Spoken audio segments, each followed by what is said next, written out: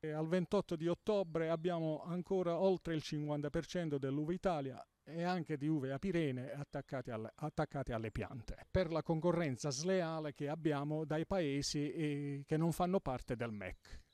Il mercato italiano dell'uva da tavola si rivolge al Brasile e ad oggi i produttori pugliesi, in particolare quelli del settore occidentale della provincia ionica, hanno ancora sulla pianta il 50% del prodotto.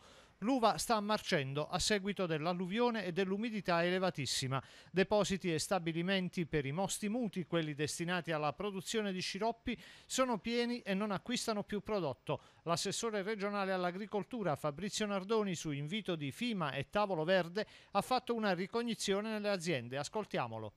Abbiamo un mercato che preferisce un'uva proveniente dal Brasile o da altri paesi e quindi mettendo in difficoltà l'uva del nostro territorio. In molti altri territori c'è una difficoltà perché l'uva da tavola non ha subito un danno a seguito di eventi atmosferici e, e quindi c'è un, pro, un, problema di calamità naturale. Quindi è un momento particolarmente difficile, dobbiamo trovare un sistema per cercare invece di valorizzare questa parte della filiera, questo primo anello che è quello essenziale, quello fondamentale Un'altra annata in malora, nessuna politica di protezione da parte del governo nazionale, a cui si aggiunge l'ennesima calamità naturale.